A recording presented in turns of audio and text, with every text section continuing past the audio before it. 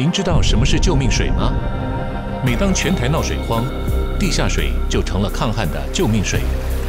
地下水不仅是台湾第二大水源，更是老天不下雨时的救命水。每一滴从地底取出来的水，可能都经历上百上千年的光阴。但现在这些救命水正在快速的流失，您知道吗？大多数的人以为地下水看不见就与自己无关，殊不知这地底的暗流缓缓的消失，却深深影响着我们的生活。因为降雨不均，即使年平均降雨量有两千五百毫米，约九百零五亿吨。但台湾地势陡峭，河川短而流急，两成的雨水直接蒸发，六成借着河川流入海，百分之五渗透地底成为地下水，可以使用的只有总雨量的百分之十五，剩下不到一百三十六亿吨。农业、民生、工业以及养殖用水，台湾年用水总量一百八十亿吨，超过地表水的负荷，短缺的部分就得抽取地下水。很多地方、很多国家地下水都是让它当做救命水。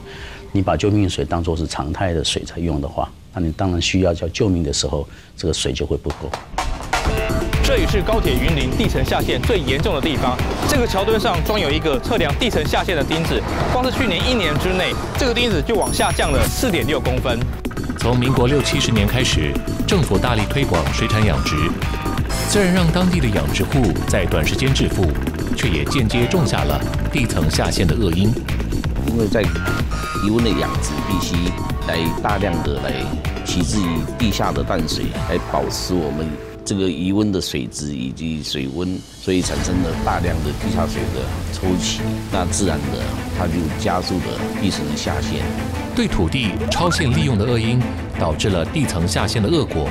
从前的燕温村，逢雨必淹，灰色墙上刻画着鲜艳的标记，这就是著名的淹水墙。每一边每一边的风灾到最早，伊拢甲做这个记录册，伊拢甲做起来。屏东享誉国际的农产品黑珍珠莲雾也是无心插柳。啊，就伫那边地区，伊地层开始下陷无，伊遐来开始有盐分，啊，大家较发觉讲，哎，盐分的莲雾，伊的肉质较脆。美丽的错误只是巧合，但过度无节制的开发地下水和人为破坏，云林和屏东成为全台湾地层下陷最严重的县市。全年最大下陷数率达到六点八公分。根据国科会的调查，台湾易淹水地区总共有一千一百五十平方公里，其中云林县就超过了五分之一，共有两百五十平方公里。云林口湖乡的成龙湿地原本是一片农耕地，因为地层严重下陷，加上一九八六年维恩台风来袭时海水倒灌，从此积水不退，并随后转变成为候鸟栖息的湿地。这个湿地跟村子，它会变成是一个环境学习的场域。被居民放弃的农地，现在却成为台湾重要的候鸟栖息地。林务局他开始思考说，有没有可能更进一步的，是让当地的居民更能够去认同这片土地。所以那时候他就邀请了呃关署交易基金会进来，带动当地的居民，大家一起来关心这一片跑水的土地。湿地是陆地和水域间的缓冲，孕育着丰富多元的生态。但是讽刺的是，这片湿地的形成，竟然是人类过度开发遭到大自然反扑的后果。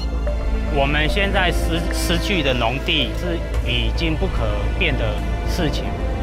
那我们要学着去接纳它，也许它会有更好的发展。曾经台湾的地下水源源不绝地自地底冒出，流经的土地长出作物，喂养动物。是孕育生命的水，但人们的贪婪让这股清泉遭到污染，甚至消失。水与土地相生相息，有干净的水才能种出健康的稻米蔬果，没有污染的土地才能留住干净的水源。唯有保持一颗谦卑的心，顺应天道，人类才能永续。